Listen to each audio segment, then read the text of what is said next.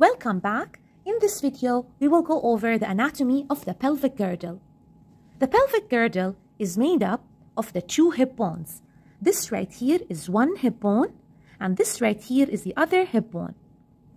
The two hip bones, they articulate with the sacrum right here posteriorly. This articulation forms the sacroiliac joint on both ends of the sacrum. The two hip bones, they articulate anteriorly at the pubic symphysis right here, which are connected by this fibrocartilage disc. Each hip bone is a result of the fusion of three bones. The ilium, which is this right here, you can see it also, this is the ilium. The ischium, which is this right here, and the pubis.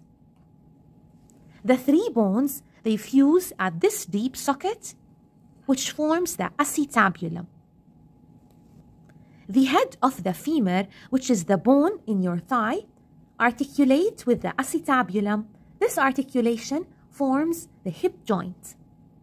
This structure right here is the obturator foramen. And see the obturator foramen through which blood vessels and nerve passes.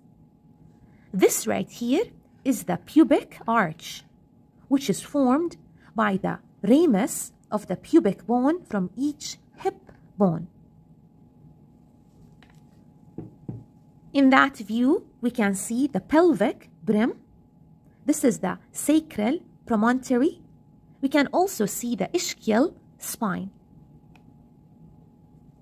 On the posterior aspect of the pelvic girdle, we can see the sacrum, the two hip bones. This right here is the ilium. This is the ilium. We can see the coccyx right here. This is the ischium. This is the ischium. I hope you found the video helpful. Check out my video on the differences between the male and the female pelvis.